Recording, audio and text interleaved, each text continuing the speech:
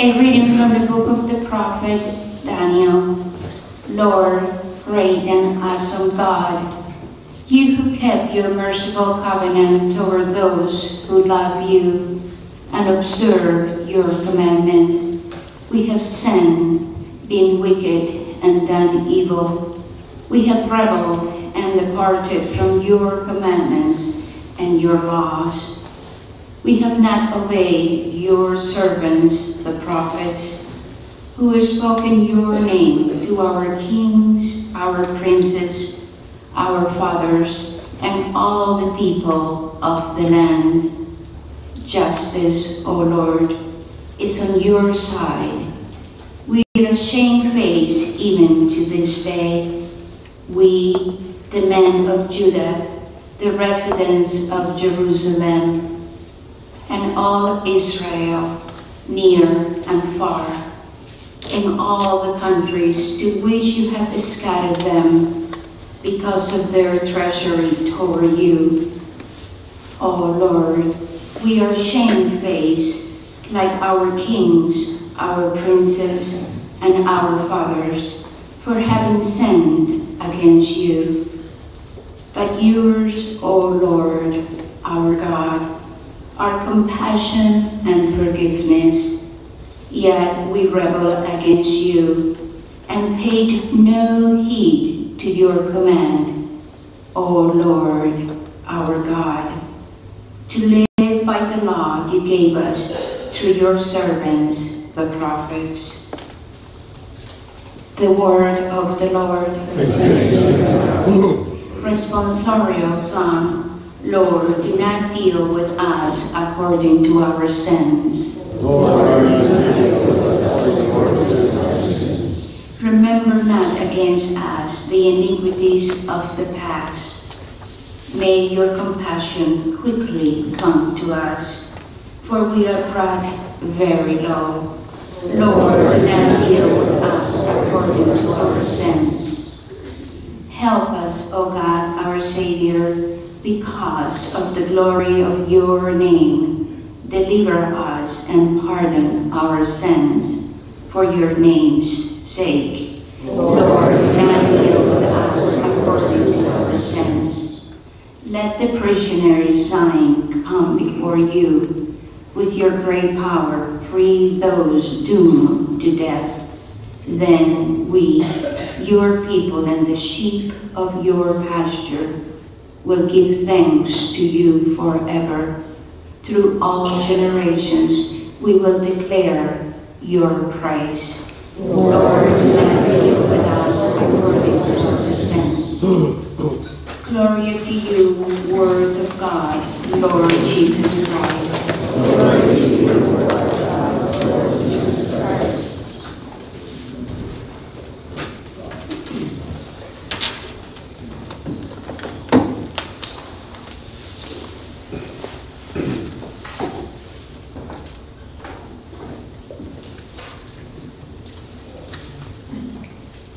The Lord be with you.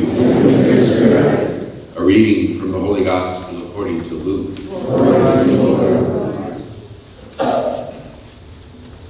Jesus said to his disciples, Be merciful just as your Father is merciful. Stop judging, and you will not be judged. Stop condemning, and you will not be condemned. Forgive, and you will be forgiven. Give, and gifts will be given to you. A good measure, packed together, shaken down, and overflowing, will be poured into your lap. But the treasure with which you measure will in return be measured out to you.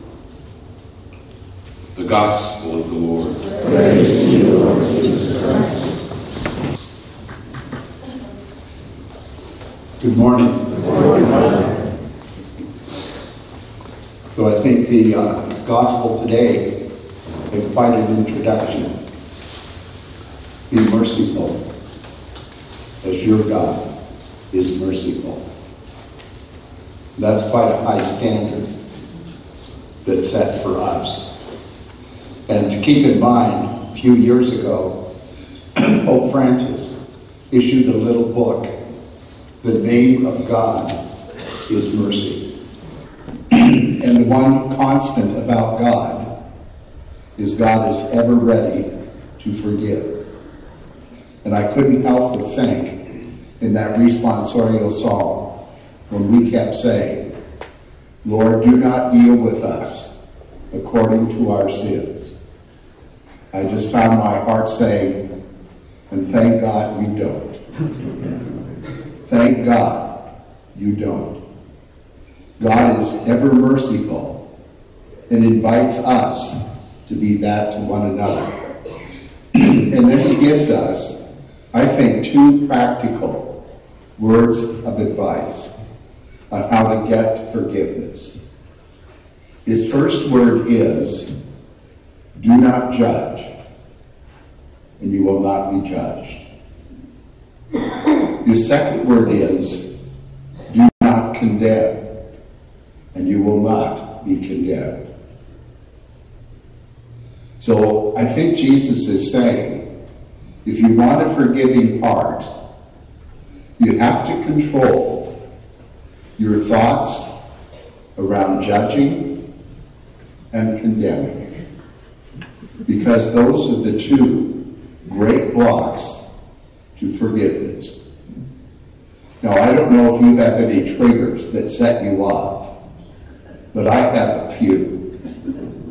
For example, if I see somebody highly tattooed, I go into a negative mode. when I see a lot, excuse me, when I see a lot of body piercing or really weird hairdos, my mind is just going. And I am ready to judge and I am ready to dismiss. And those are just a few of the triggers that go on in me. But I think for all of us, we have to understand that when we withhold forgiveness, for whatever reason, it has happened because we have both judged and condemned the other as unworthy of our gift. So I think the advice of Jesus is very practical. If you want to journey with a forgiving heart, checkmate yourself on judging and condemning. And if you can get a grip on those two realities, you will put yourself in a position to be able to forgive again and again and again. I find his advice helpful, and it helps me to understand I can become merciful, just as God is merciful. And the wonder is, so can you.